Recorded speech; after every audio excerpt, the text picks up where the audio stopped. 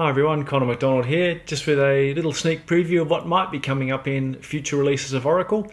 No guarantees this will be the case, but I thought we'd show you.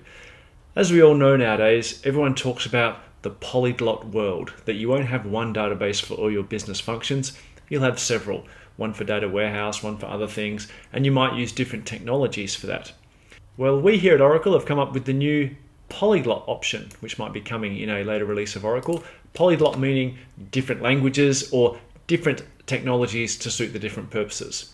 So what we can do now is, for example, we can do a familiar query, select count star from T13, and we can see we get 42,000 as a result, and it's done very quickly. That's the default operating mode. That's what we call Oracle operating mode. If you like, you can run it in NoSQL mode. So that will run very, very fast as well, but you'll basically get a random answer. So no integrity, but it's very, very fast. The other option is if you want, you can also do what we call other relational mode.